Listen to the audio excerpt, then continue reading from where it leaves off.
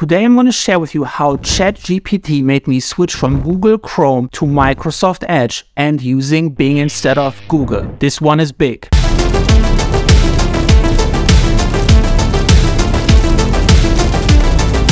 Google Chrome is actually quite new. It has only been around for the last 15 years or so. I just want to highlight some of the browsers I've used for a long time. From Mosaic, Netscape, Internet Explorer, Firefox, Google Chrome, you name it. Am I really that old? It all started off with Firefox, which I used for many years, and mostly because it had the most amount of features. It had like an extensive ecosystem of extensions that allowed you to customize your browser, but boy, it was really, really slow. Two hours later. Then meet Google Chrome. Google Chrome was developed by Google and they highly promoted this through their Google search engine and it was really, really fast. And an entirely new engine came with its own extension source. So most of the developers who had already like made an extension for Firefox just made a Chrome version. So it was really easy and useful for me to just switch over from Firefox and have much better speed, much fewer RAM usage and much better experience overall. Now at the time when I was using Firefox, it wasn't actually the most popular browser in the world. The most popular browser was in fact Internet Explorer. Why was was that the case? Because Microsoft has developed their own browser and they just shipped this with every single Microsoft Windows installation. Most people were using Windows that didn't have the tech skill to just install another browser. It was really easy for Microsoft to become the most dominant power in the internet and having the entire market monopoly in terms of web browsers. To be honest, Internet Explorer was always a horrible browser, especially version 6.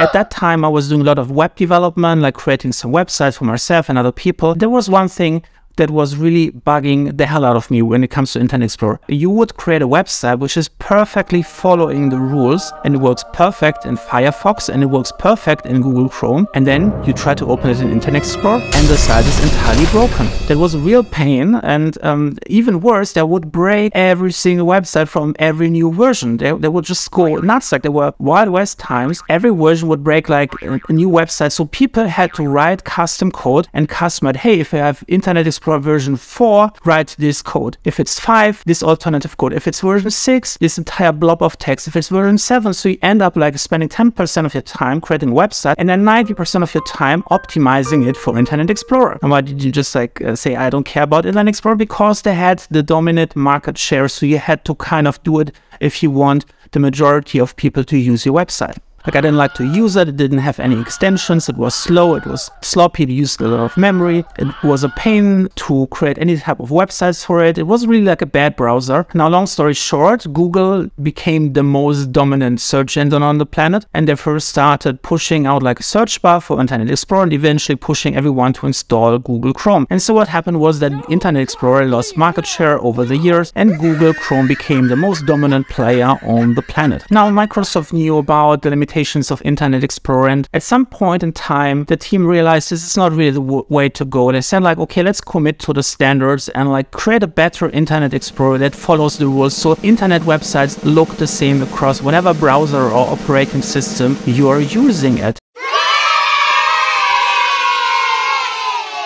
So they started working on it, but they had a really big issue because what happened was like when people first created the internet, a lot of enterprise customers started creating their own applications that only worked in their own intranet. Like let's think of banks or something like this. They create the entire system, how people can create accounts or like make transfers of in terms of money. And and all of those systems, they're like really they take ages to build. So by the time that the bank application have fully adjusted to creating web applications in their own intranet. By that time, we already like skipped like 10 browser versions. Those apps were optimized to work on really, really old versions of Internet Explorer. So all the corporate customers, they just wanted to keep the old Internet Explorer versions. They didn't want to have a new browser, which would break everything. They insisted on keeping this failed browser alive for ages.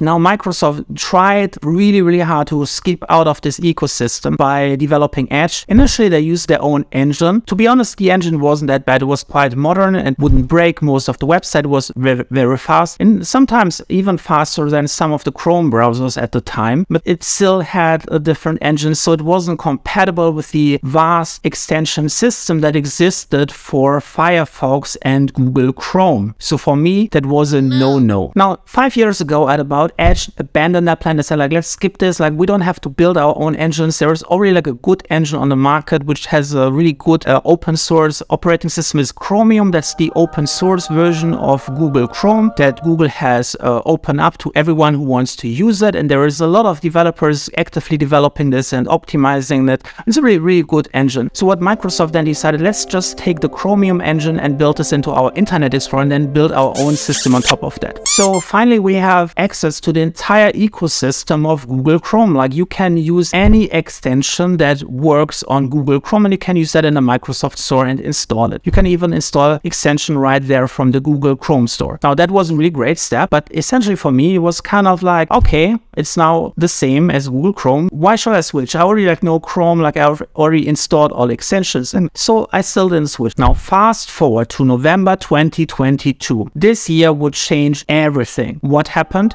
OpenAI released ChatGPT, an advanced model that was built on top of their already existing GPT 3.5 language model. And it would show the world what would be possible when it comes to AI and processing natural language. Now, you may not know this, but Microsoft has heavily invested into OpenAI. They had like an initial investment of $1 billion and just recently they announced like another investment of over 10 billion over a couple of years to further help OpenAI develop this technology. Now, what is new about ChatGPT versus like the underlying model GPT 3.5? Now, it's essentially using the same language model, but what it has done is has created a user interface, so to say, which is much better at understanding what is the intent of the person asking a question or making a task request. So it's much better at understanding what the user wants. That was a really big issue to make GPT-3 give you content that would be usable. Prompt design required so much more work and much more precise tuning parameters to get any useful content out of it. So ChatGPT essentially has solved this problem by creating a top layer on top of GPT-3, which allows it to understand the user prompt and convert it into like a very highly efficient internal prompt that the language model can execute perfectly.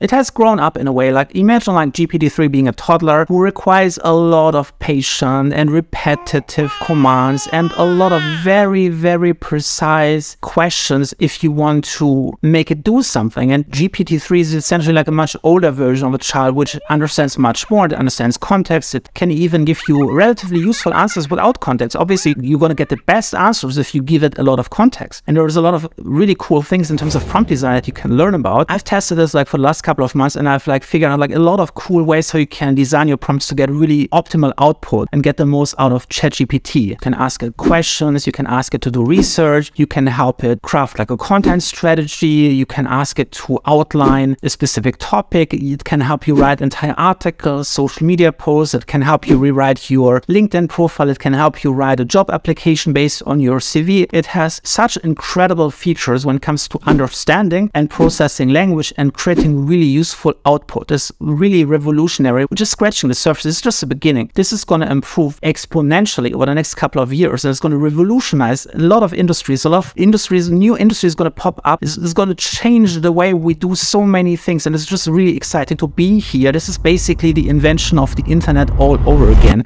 And you're just here at the early stages and you're seeing it unfold in real time in front of your own eyes. It's so cool. I started creating a ton of content about it, how to use it, like what are the best prompts, what is the best structure. I'm going to take some of my best resources. I'm going to put the link down in the description and in the pinned comment below so it's really easy for you to get started. Anyway, let's talk about Microsoft Edge and Bing again. Now, Bing recently released a new feature and it's called Chat. What they basically have done is they have taken ChatGPT's engine and they put it into the Bing search engine. Now, for me, I wasn't really using Bing. I felt Bing was a really bad search engine for many reasons. It's not as good as Google because because it's very literal when it comes to search terms. Like if I search for, let's say, I want to have some fries, it wouldn't be able to show me a recipe for chips. Like that's the British version of fries. You have to be really literal in terms of like how you want to rank for it. Like if you want to rank for fries, you have to use fries. If you want to rank for fries and chips, you have to use both words simultaneously in your article. It can make it sound really odd. If you want to rank on Bing, you have to basically keyword stuffing and write SEO text. That, that sound really horrible. That don't sound like a normal person would do. You would insert a keyword every other sentence. Every time, let's say I wanted to rank for ChatGPT, I would say, today we're going to talk about ChatGPT. ChatGPT is this amazing system. ChatGPT does this and this. ChatGPT can do this. It sounds totally unnatural. And that's one of the reasons, like I have my own websites and I write a lot of articles, mostly about content marketing and like how to take advantage of using LinkedIn for your content marketing and how to create your own YouTube channel, how to do blogging well. And I want to write my text in a normal way that actually sounds readable when people looking at it. So it should sound like a real nice book that someone can sit down and read out the book. I don't want to have this sound like an SEO engine where every third word is like whatever keyword I'm trying to use for. But if you want to rank for Bing, that was really necessary. And as a consequence, because of this behavior, all of the top search results on Bing are either not as good because uh, it's not able to identify the article which actually contain good content because they're not over optimized for keywords. And the articles that do rank, they just sound mechanical. Like they have every third word is like the exact word that you typed in. Every headline contains the keyword you searched for. And really frustrating if you want to read this. So Google already had like working on like some language models for a really long time. This is one of the reasons why it's able to understand like the content, like what is the, the value of reading a certain article. And it was also able to um, basically punish people for over optimizing content. So when someone would write some keyword stuffed uh, articles, it would just downrank them in favor of a more readable article. Because of that, it was much easier for me to rank on Google. And also the search results were much better and much more relevant because I would get the text that actually helped me, not the text that have been over optimized for SEO as on Bing.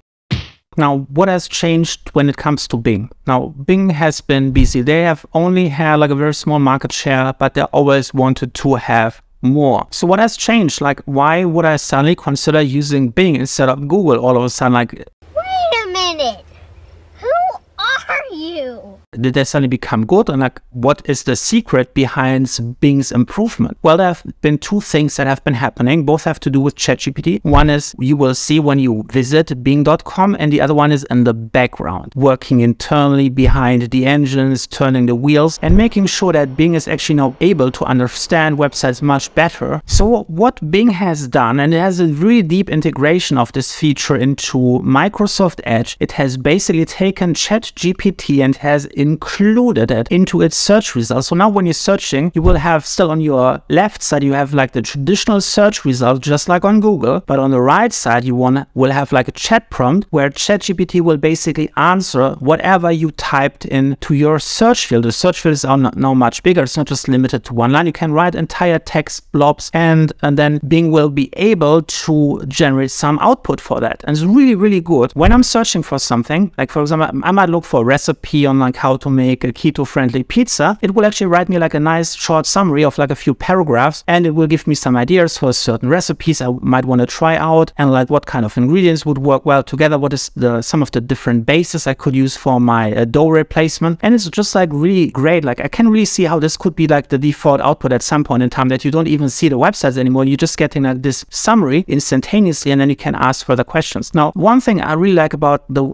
the way Bing has implemented this, basically every sentence the ChatGPT version of Bing is generating is linked to the source. And they really pay a lot of attention to accurately linking and crediting the original piece of content where they got this information from. You can click on any sentence and it will tell you which is the source. You can click on it and it will open the article where it got this information from. Uh, one of the biggest differences between the Bing's version of ChatGPT and the uh, actual ChatGPT is that the real ChatGPT on OpenAI.com is limited. It has a knowledge cap off in 2021 and is not capable of searching the internet. While Bing's version is basically looking at the top top 10 results. It opens all the websites. It will read through all the content. It will then build a summary based on the content on the most recent result that guarantees that you have up to date knowledge. There is no gap you get 2023, 2024, 2025, whatever year you're in. If it happened yesterday, Bing will be able to know about it and ChatGPT will be able to update the information accordingly. So it's really, really cool to, if you rely on it like for accurate changes. Like if I, I ask ChatGPT, who is the CEO of Twitter, it will not be Elon Musk. You can try it yourself. It's basically like the cutoff point 2021. That's really exciting. Well, like even better, if you have this chat option available, you can actually talk to ChatGPT inside of Bing. You can ask follow-up questions. You might, hey, what could I do if I don't have this ingredient? What are some good substitutes? And it will then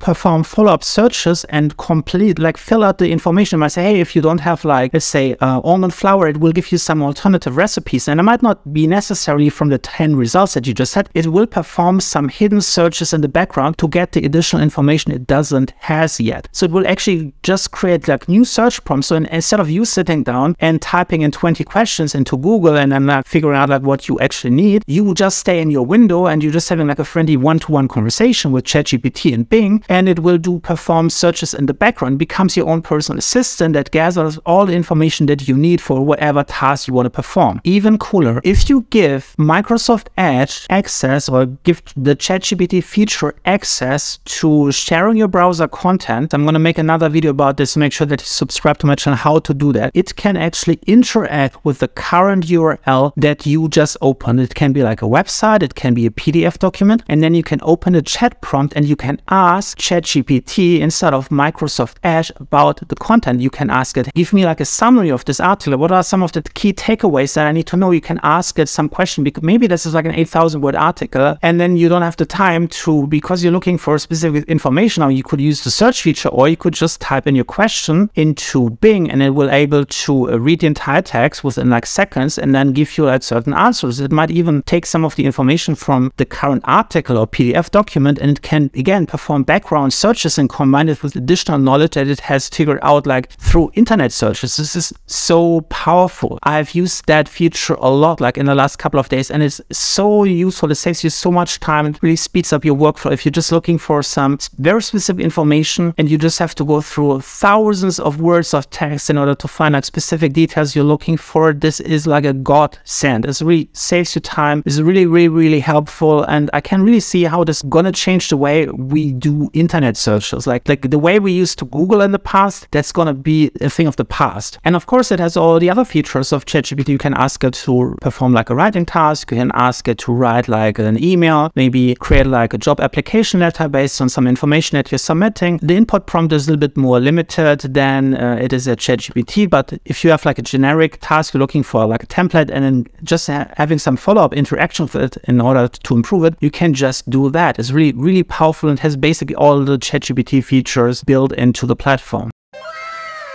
Now at the moment it's a little bit slow, like it types it out word for word, which gives you like the illusion that there was like someone actually like texting you. But I could see like in a, in a couple of years, like or even like a couple of months, they're going to speed up this process uh, dramatically or just give you a choice. If you want to have instant output of everything, it's going to be just there. Like uh, this is just like a matter of time to optimize the systems, like get the most out of this, like as getting like more powerful server and like hardware to run those AI systems in the background is all going to be way, way faster. The other thing that I'm super excited about when it comes to Bing is what is Microsoft actually doing in the background. And they haven't really like revealed all of it, but you can bet an eye. This is what's going to happen behind the scene. Because of this immense weakness that they only are able to literally understand keywords that I can't understand synonyms and like other ways of explaining the same idea and like putting one and one together and saying, hey, those are all part of the same content classes. Microsoft is going to use the ChatGPT technology to parse its website content. It's going to process all websites and it's going to use this advanced language model to really understand what every website is all about and it can all link them together. No longer do you have to worry about like optimizing your content for SEO. You can just continue writing really user-friendly articles that are easy to read and Bing will just understand it. And that will over time, it will probably take like a couple of years until this is fully rolled out through all websites in the world, but it will eventually be able to completely replace the current database, link everything together to understand the entire internet. And just think about when we're at that point, how much power and knowledge you're gonna have in one engine. You have essentially a language model which has read every single website on the internet, every single book, and it can pull together information from all of those sources. This is gonna fast track any research imaginable. It might be able to create new knowledge to draw some conclusions of information. There is gaps between them so far that no one would naturally come to a conclusion, hey, this is something that belongs together, but the OpenAI ChatGPT model might be able to to draw those information together and give you insights about new knowledge, make new discoveries that people haven't thought about yet. Now, I'm really excited about this because I want to see some competition. Like, I want to have a couple of really good search engines on the market. And make no mistake, Bing might just be like the first doing using this technology. There will be others. There will be finally some search engine competition because of those language models. It's not going to be limited to Google. This is going to be limited to like how many uh, resources can you put behind like processing the entire internet and then those language models are going to be equally powerful. So uh, this is going to be really exciting. We're going to see a lot more competition in the search engine space. To me, it's kind of like funny because every time like there is a monopoly like on the market, everyone thinks it's going to be last forever.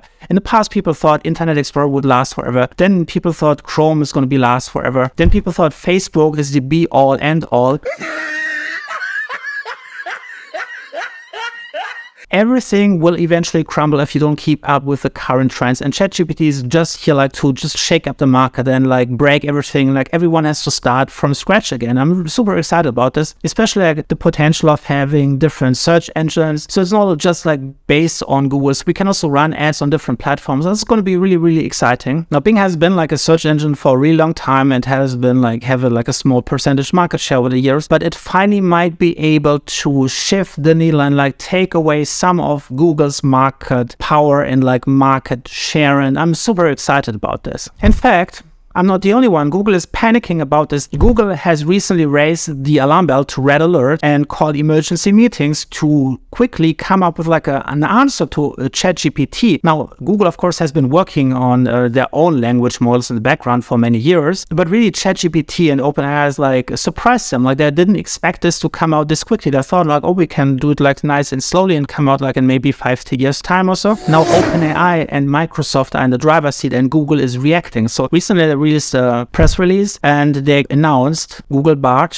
like their own version. They said like at the moment they're gonna soon release like the mini version of the language model. The more advanced version is gonna take a few more years or months, who knows? But it's just rushed out like in panic. Nobody was prepared to give any presentation. In fact, when they recently tried to do a presentation, everything went wrong. The supposed live demo fell apart because someone forgot the phone where this demo was running, forgot, and then they had to rely on a video to show how it would work. The output didn't look so impressive and it actually created a couple of like mistakes and made some wrong statements that were untrue. But yeah, if you're trying to rush things through, things like this gonna happen. I'm making a bit of a joke of Google right now, but like I wouldn't count them out. Like they have a lot of money. They can put more money behind this technology and have some of the smartest people working in their company. So they're definitely gonna be able to catch up at some point. It's gonna be really exciting times. Like other platforms are also working on their own language models. I know Meta is working on their own language language models. There's a couple of really cool open source platforms that are working on their own language models.